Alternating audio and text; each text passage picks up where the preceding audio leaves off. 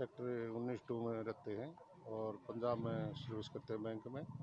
हमारे को सूचना मिली थी तो हम अभी मौके पर आए हैं और डॉक्टर साहब अभी इनका ट्रीटमेंट कर रहे हैं। उसके बाद जैसे बयान होंगे तो उसके अनुसार उचित कार्रवाई की जाएगी। इसमें किसी आरोपी की पहचान हुई है? सर अभी तक कोई पहचान नहीं है। मोटरसाइकिल पर बताए गए दो व्यक्ति हैं।